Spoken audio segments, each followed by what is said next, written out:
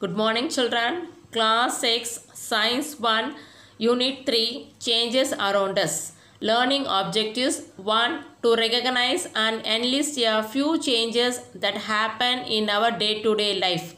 2. The classify the observed changes as slow, fast, reversible, and irreversible changes, physical and chemical changes, disable and undisable, natural and human made changes. Third one, to explain the process of dissolution to distinguish between a solvent and a solute.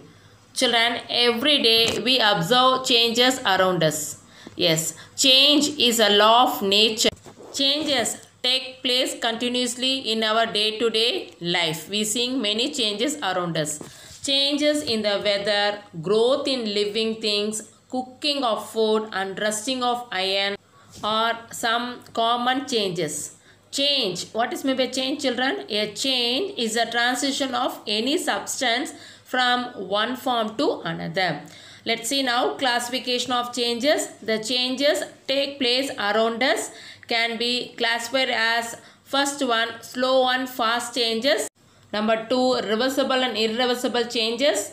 Number three physical and chemical changes. Number 4 desirable and undesirable changes. Number 5 natural and man-made changes. Let's start now first one slow changes. Changes which take place over a long period of time. Hours, days, months, years are known as slow changes. Example growth of nail and hair, change of season, germination of seed fast changes. Changes which take place within a short period of time like seconds or minutes are known as fast changes. Example bursting of balloon breaking of glass bursting of firecrackers burning of paper etc the next one we are going to see reversible and irreversible changes changes which can be reversed to get back the original state are known as reversible changes. These changes are observed in the physical state, size and shape of the substance. A reversible change does not create a new material. For example, melting of ice, boiling, touch me not plant, stretching of rubber band, etc. Next, we are going to see irreversible change. An irreversible change is a permanent change that cannot be done. In an irreversible change, a new substance are formed. For example, cake batter is made from eggs, flour, sugar and butter etc. Once a cake has been baked, you cannot get the ingredients back. Cooking is another example. We cannot get back the substance that we originally started with mixing substance can also cause an irreversible change. For example, change of milk into curd, digestion of food, making idli from batter. Topic is periodic change. Changes which repeat themselves are called periodic change.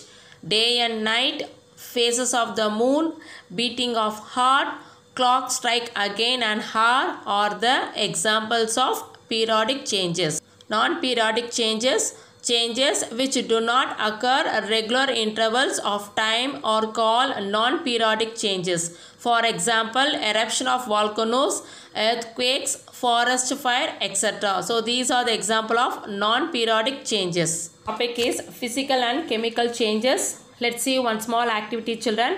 Take an apple and cut into two halves. Cut one half into pieces and share it with your friends. Is there any change in the composition of the apple while cutting? No. Only the shape and size have changed. So this can be we call as a physical change. What is meant by physical change children? A physical change does not produce a new substance. For example of physical changes include a crushing can, melting of ice. Leave the other half on the table for some time. You can see brown patches formed on the cut surface because of the reaction between some substance in the apple and the air around it. So this is a chemical change. Now we understand children physical and chemical change. So what is mean by chemical change? A chemical change produces a new substance. Example baking a cake, cooking an egg, etc. Let us now understand the physical changes that take place in water. You already know that water exists in three states as solid, liquid and gas. Change of states take place either by heating or cooling. By heating energy is supplied and by cooling energy is taken away. So keep it in mind children. By heating energy is supplied, by cooling energy is taken away. These are the reason for the changes. Let us name a few processes connected with the changes in states of water. First we'll see change and process ice into water on heating. It will call process is called melting. Number 2 water into steam on heating. The process called vaporization. Third one steam into water on cooling. The process called condensation water into ice on cooling is called freezing. So what is mean by sublimation children?